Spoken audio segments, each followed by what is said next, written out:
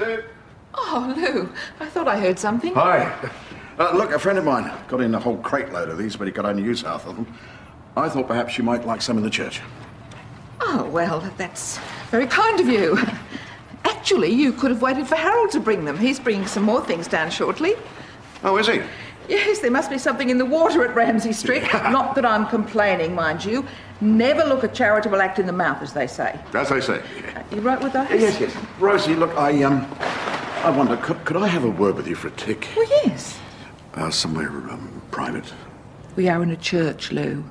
Yes, I know, but... Uh, All right. Come into the vestry. great. I,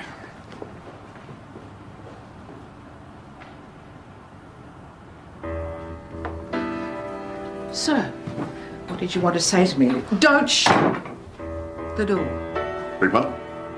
That's a self-locking door, and the key is on the other side. Oh, does that mean... We're stuck here until Harold arrives.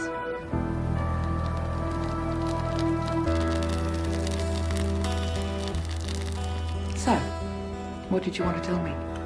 Truthfully? Yes, you've got all the time in the world now. Well, I just wanted to say how much I am looking forward to coming to dinner. Good. Oh, yes, yes, there was something else too.